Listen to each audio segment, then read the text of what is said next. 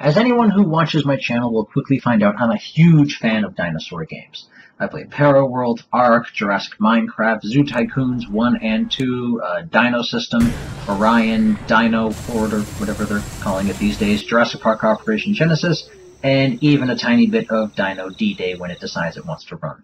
But I'm not here to talk about those. I'm here to talk about the new one that's going to be coming out on the 12th. That is Jurassic World Evolution a park management game taking place in the titler or titler or however it's pronounced Jurassic World.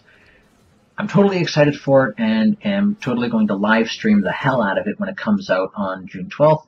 Uh, as someone who's done absolutely no research on it because I want to go in completely blind, I have a lot of expectations uh, for what a Jurassic World park builder would be like.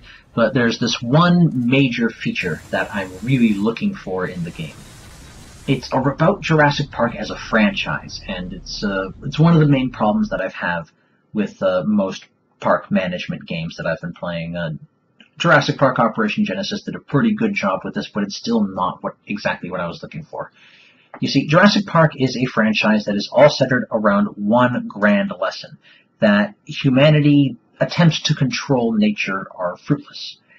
Life cannot be contained, life finds a way.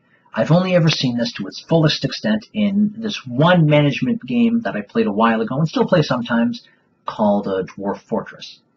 It's a free RTS management game where the player helps a group of dwarves build a fortress. The game is built upon layers upon layers of systems that determine everything from the events of ancient history to how a dwarf reacts to seeing his mother dancing lewdly with his best friend.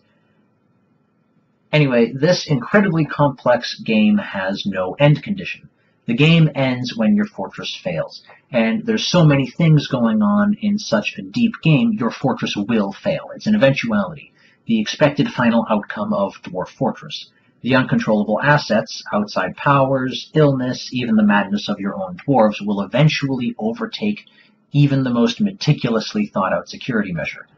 And this is what I'm looking for in Jurassic World Evolution a game where we try and fail to contain life.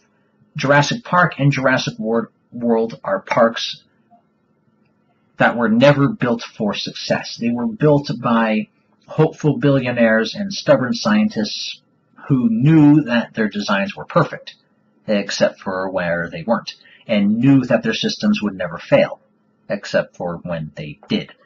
This is what I want out of Jurassic World Evolution. I want to build a supermassive park filled with rides and dinosaurs and grow thoughtfully and slowly around more complex systems or throw around the world perfect, the word perfect like a business mogul too wrapped in his own brilliance to see the big picture. And I want to either fall with grace, evacuate all of your park guests and leave with a giant pile of money, or trip down a flight of stairs into a pile of tattered carcasses that were my park guests five minutes ago. So that's what I want out of Jurassic World. I want to build with passion and fall with dignity. I mean, I also want to remake the Battle of um, Pelennor Fields, but replace the horses with carnivores and replace uh, all the orcs with screaming tourist children. But I'm going to play it a couple times before I try doing that.